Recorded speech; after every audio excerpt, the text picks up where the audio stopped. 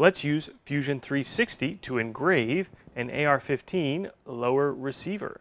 Welcome to another Wednesday widget, folks. Even if you're not into guns, everybody calm down. I think there's actually some really good CAD stuff to be had here, both specific to Fusion 360 as well as just general CAD stuff. One of the things I want to do is show how to take a logo or sketch geometry from an existing design or something that maybe you didn't make and be able to copy that on to yours. In this example, and again, everybody calm down, I happen to have a Glock logo and we're going to put it on an AR-15. We got both of these um, from respectively GrabCAD and CNCguns.com. And what we do, we've just imported the two parts. Now the first thing I'm going to recommend you do is take a look. This is where we're going to be pasting the design onto. We just did a video on stitching uh, things in Fusion 360 or making sure you can work with them as a solid model. A quick test will be, let's just do a sketch text, choose this face, type in a text, you know, say letter S, doesn't really matter where, and click, I got a bunch of stuff here open, okay.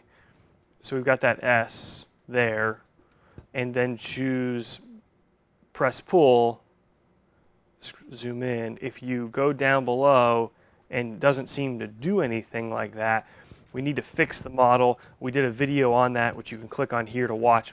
In that tutorial, I liked doing the boundary fill. I'm getting an error here, so we'll do it the other way, which will be fine. Patch, modify, stitch, select everything. Okay. Now when we sketch a text, we can go ahead, and press pull, and you'll see we actually create recessed, extruded, or cut geometry. Perfect. We've got our Glock slide. Now this one's not intuitive. I'll show how we do it in SolidWorks at the end, which I think is more intuitive, but that just may be because I do a lot more in SolidWorks.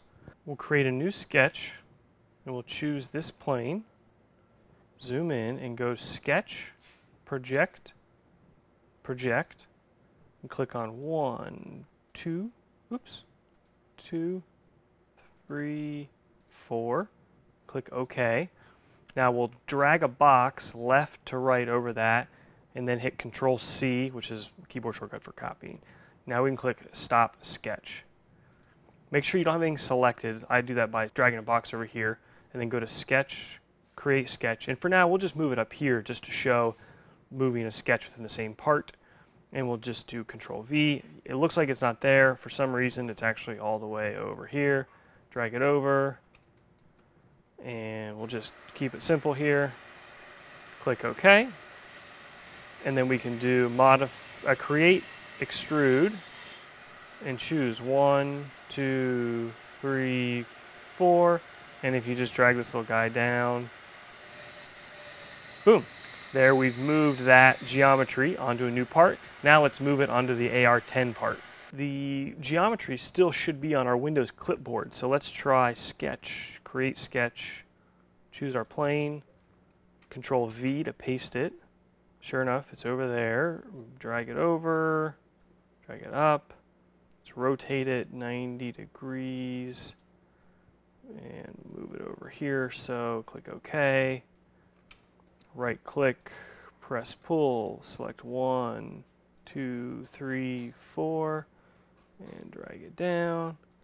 Boom. Now I can't figure out how to scale the contours, uh, which I'll show you in SolidWorks is quite easy. So if someone knows how to do that in Fusion 360 would love to see it. In SolidWorks, the, this process is again a little bit easier. Sketch here, and we'll just choose these pieces of geometry and you'll do convert entities. Now I can just hit control A, control C to select all, control C to copy and exit this sketch, create a sketch up here, paste it, and then we can select it, drag it down. We can do scale entities, scale about, you know, just pick a point on the thing. That makes it bigger. Let's make it not quite that big. Click OK and drag it back down. So I think SolidWorks is both easier and, and so far as I can tell, it's not more capable. I just don't know how to do it in Fusion. So let me know if somebody knows how to scale it. Now let's actually create the text that we want to machine onto the AR10 lower. So we've got the file open here. We'll go to Sketch, Text, choose our face, and pick a point, and we'll type it. I like to type this in all caps. And oops, you know what? I wanted to go back to inches, sorry. 0.2 for height, and all caps model SMW-10. Rotate that. We'll do the same thing for the next two.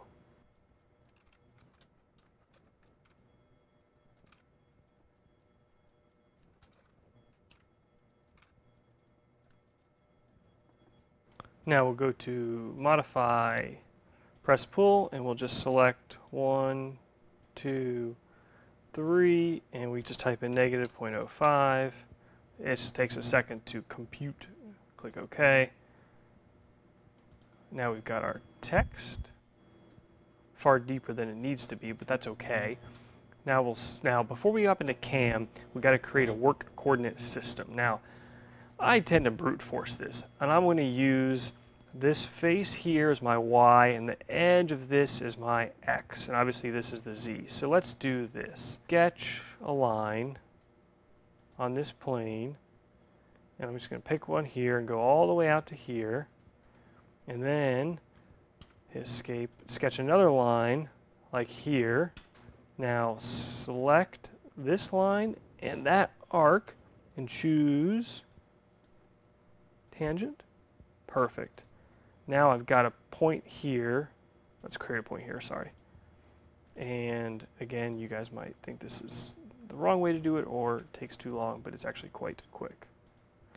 Now I'm going to do construct axis perpendicular to face at a point. Sounds like a mouthful. Select this and select our point, and now we get a nice axis there. I think that's all we need, I hope. Model cam, setup new setup and we will do orientation, select the z-axis plane, z-axis, sorry, and then the, whatever, the mouthful. That's the z-axis. And the x-axis is this. Stock point origin is going to be this. Nope, select, selected point. Here we go. Boom. Perfect. I like it. Now, we got to go back and edit well actually we'll do the CAD first, the toolpath first. Trace, for me I'm going to use a 3 64ths ball end mill. I like engraving with a ball end mill. Bajillions of ways to engrave, technologies, tool holders, compression, so forth. You need high RPMs. We don't have as much as we'd like on the Tormach, but I find that the 3 64ths does a nice job. It looks like a proper engraving. It's good if you want to do like a color fill in it. And it doesn't create a burr, it's just more consistent, I have found, with the result that you want. Tool, I've got it programmed up here, ball end mill, 364ths. Now geometry, I don't know if there's a better way to do this, but I'm going to fast forward while I select through all these.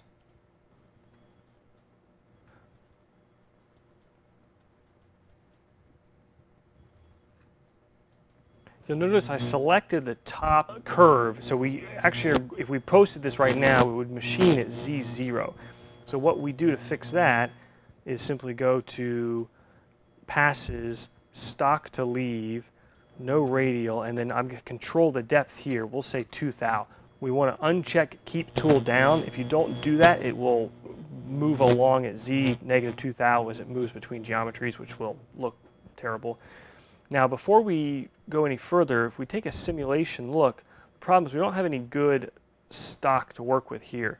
Now, one of the really cool things about H, uh, about Fusion 360 is that you can choose the solid as the stock, which is really cool, ex except that it's not going to actually give us a good simulation because we already have cavities where we're going to be machining that curve. So it doesn't actually really look that good. So let's do it. What we need to do is go back and figure out the distance between this height and this plane.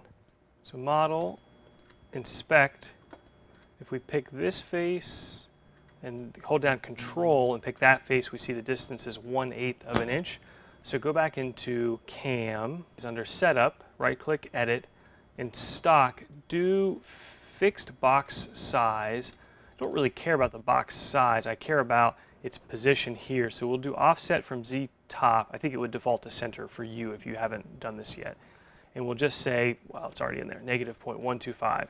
Click OK, and that creates a box that's at the height plane that we're working.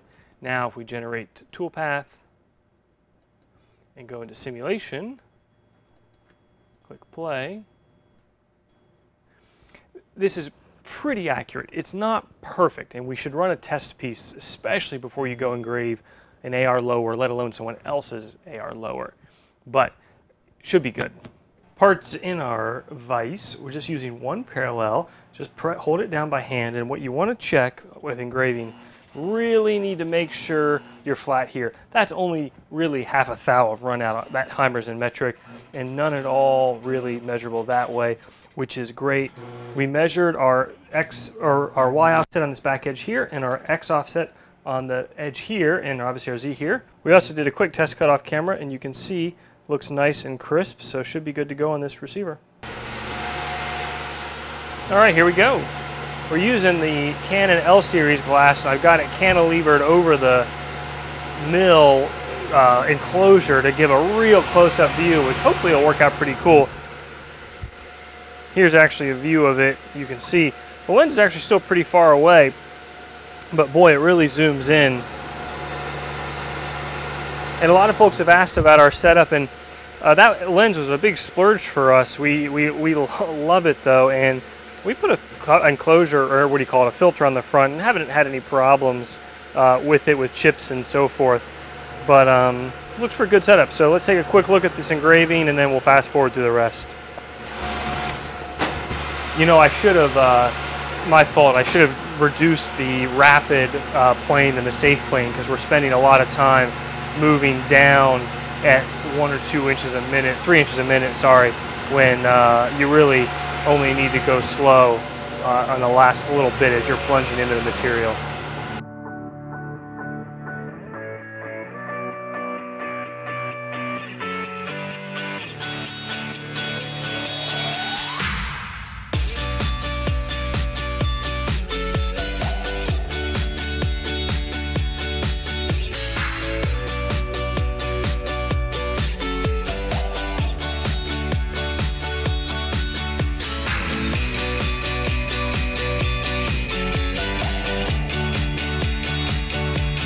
Have it, folks. Take a look, not half bad. You can see the AR-10 engraving looks really nice. It really pops though, as you see on the AR-15 receiver, when you Cerakote it or, or, finish it first and then you machine away to a brighter color.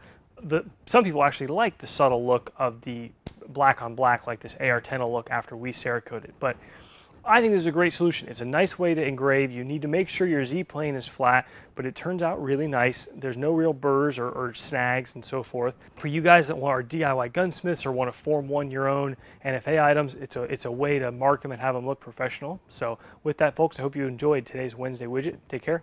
See you soon.